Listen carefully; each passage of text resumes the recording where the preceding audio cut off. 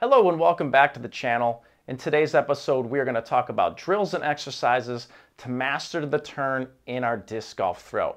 More importantly, we're going to talk about one specific area that is absolutely crucial for us to master in order to maximize our distance throwing potential, but also it's important for injury prevention.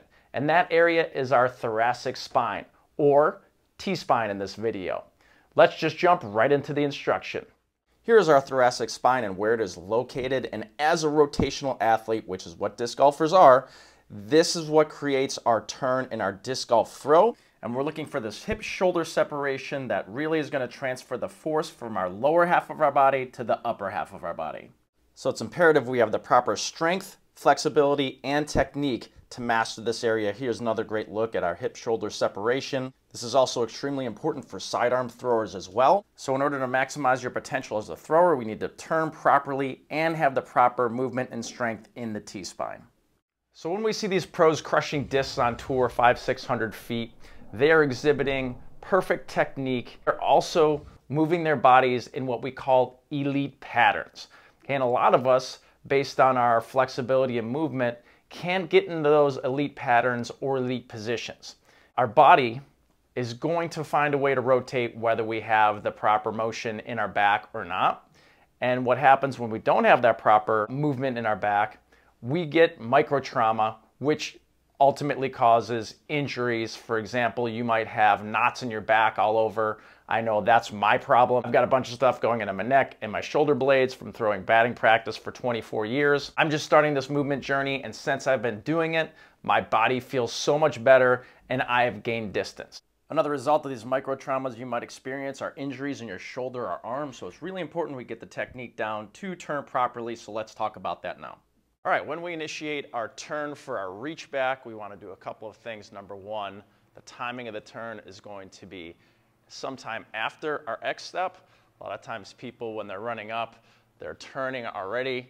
That's going to rob you from power, just like an NFL quarterback. They do their step first, and then they throw. We need to do the same thing, X step, and really we want to try to get this turn as late as possible, somewhere in the glide, our hip glide. We want to initiate that turn. Everybody's going to be a little bit different based on how quickly or slowly they turn. Also, we don't want any weird lean. We want to keep our spine uh, straight or vertical, whatever verbiage works for you. Don't want any leans. We don't want any leans this way. We don't want to X-step, bend this way. We don't want to create our hyzer angle from our T-spine. That's going to rob us of athleticism and that ability to turn and rob us of power. We want to create it from our hips. This is an athletic position. This is where we create our athletic lean from when we do our hyzer, just like this. Flat, pretty much here, depending on your flexibility, and, and hyzer. But it comes from this area of our body here, not this area of our body. All right, let's start off with some drills. The first thing we're gonna do is measure our T-spine mobility. We're gonna sit on a bench with something in between our knees to keep our lower half steady. I have two red pieces of tape on the floor to measure 45 degrees, and I'm using my PVC pipe to turn both ways to see if I can get past that 45 degree mark and if one side is tighter than another, or if I have pain on one side or another. I'm also going to turn and twist sideways couple of different segments here because that is another one of the functions of our T-spine. Again, measuring if one side is more flexible than another or if there's pain on one side or another. Second way you can do this is sit crisscross applesauce. That'll measure your 45 degrees with your thighs and go back and forth the way I'm doing holding the PVC pipe. What we're looking for is anywhere from 50 to 70 degrees and 70 to 90 is really an elite movement. Our next drill is a hip shoulder disassociation drill where I'm moving my shoulders back and forth while keeping my hips anchored and then switching and moving my hips back and forth while keeping my shoulders anchored. It's a great way to teach your body that disassociation and get that hip shoulder separation we need to really engage that rubber band throughout our core and maximize our distance. Our next drill is going to be a turning drill. As I said before, we want to initiate the turn from the back shoulder We also want to keep our spine vertical as we rotate. This is what this drill is teaching us to do. We're keeping our PVC pipe brushing the ground. That will prevent you from any weird lean as you rotate. You can also let go with your top hand and get into your reach back. That will help you get in the actual disc golf position. Again, we're just looking for a smooth rotation, no leans, and making sure we get used to the movement, engaging the back shoulder first. Here I'm working the opposite way for my sidearm throw.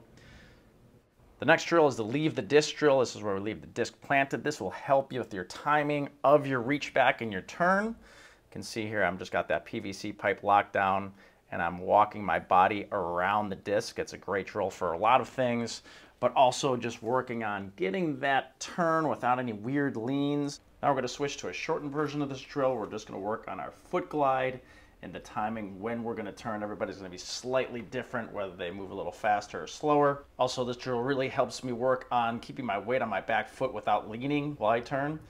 Here's just a remedial drill, just if you have trouble feeling the core of your body moving, just taking the lower half out of the equation and just working on a turn. You can work on your reach back too, just to really feel that rubber band in the core of your body. It's nothing special, and you can work through your whole disc golf throw if you want to. And finally, once again, we're just working on turning our waist here, creating our lines. Here I'm throwing flat. I'm just working on my turn with the PVC pipe, giving ourselves a little guidance here, just so we don't have any weird leans, making sure we bend from our hips like I showed you before, and hitting those lines. I've got a full video breakdown, one of my early ones, on all three of those lines. I just want to show everybody again so you can still work on the turn this way. Now let's talk about some strength and mobility exercise. Do not skip these. These are extremely important. Our first mobility drill is a T-spine extension. And as you can see, this is where I started. I couldn't get my arms all the way down. I was really struggling. I've been doing this for a few weeks and I've really been able to get it down there. The biggest thing is we want to turn our hips forward so our lower back is touching the ground on this. And then the movement is pretty simple itself. It's just a matter of your uh, restrictive movements, whether it's your joints or your muscles and just going straight back and forth and feeling that stretch. And after you do this for a few days, you will really improve the movement in your T-spine and it really help with your disc golf throw. You can also add a weight to this activity to, to turn it into a strengthening activity as well.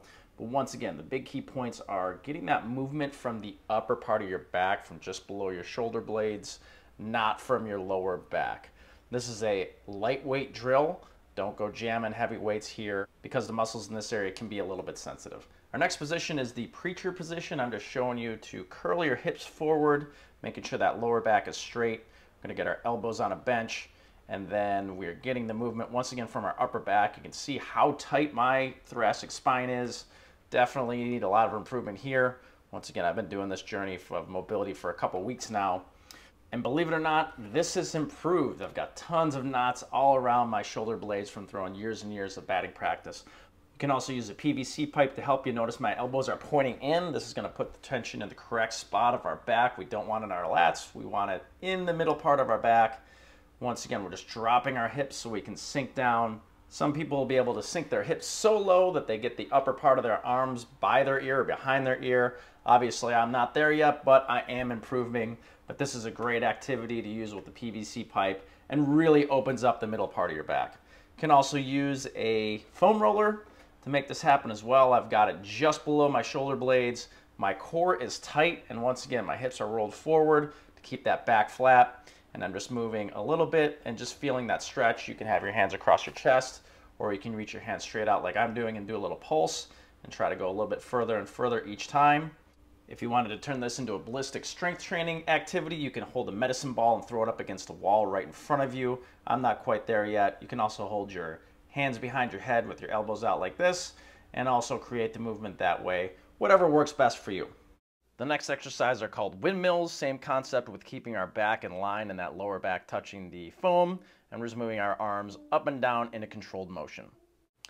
The next exercise are called book openers. I'm going to use my foam roller to brace my knees and just open up my T-spine nice and easily. There's a lot of ways to do this, and this is a phenomenal way to warm up for disc golf throwing. Key point here is to not let my hips move and getting all that motion up in the middle part of my back in the T-spine. Of course, we always want to do everything on both sides in order to make sure our flexibility and strength is balanced. If you don't have a foam roller, you can do this on your knees. Just make sure both legs are at a nice 90 degree angle and we're keeping our hips straight. Once again, forcing all this motion to happen in the upper part of our back where our T-spine is located. And this is most likely the exercise you would do for your disc golf warm-up. Once again, great for warming up that T-spine to maximize your power. It's also great to do it both ways so you can see what kind of strength and flexibility you have on both sides of your body. This exercise is called wall windmills or wall half circles, whichever you prefer. Both legs are at 90 degrees and I'm just tracing the wall with my arm, not letting my hand touch the wall and kind of keeping the same exact distance the entire time. Can also use a foam roller or PVC pipe on the outside portion of your knee to make sure your hips stay straight. I'm not using it here because I'm pretty good at holding that position. But once again, this is just a great exercise to open up that T-spine and work your shoulders in the mix too and just really feel that opening sensation. Here's our first T-spine strengthening activity. This is a scap push-up, great for just building that area in between your shoulder blades. If you've got knots in your back, this is a great cure. We also here have Y's to W's, W's to Y's, whatever you want to call them. Big key point here is just initiating the movement from your shoulder blades and not your arms. Here I'm going to show you a couple different versions of the Y lift, the great exercise to strengthen our T-spine. Notice I'm flat on the ground, I'm not lifting my head, just getting that motion in the upper part of my back. This is just with a PVC pipe here. That's too much of a challenge, you can get on an incline bench here and just go with your thumbs up, creating that Y with your body. You really feel it in your T-spine area. And finally doing the Y lift with some weights. This is a lightweight exercise. A lot of these muscles in your neck trap area are a little bit sensitive, so we don't want to jam too much of heavy weight too early. Next exercise is a little bit more advanced. It's a Y lift into a pull down. Once again, we want to create this movement with our shoulder blades and not use our head by lifting our head up or anything of that nature. We want to keep our body nice and relaxed and just use the T-spine area. Hangs are always a great option. We've got a full video breaking down everything about the hang.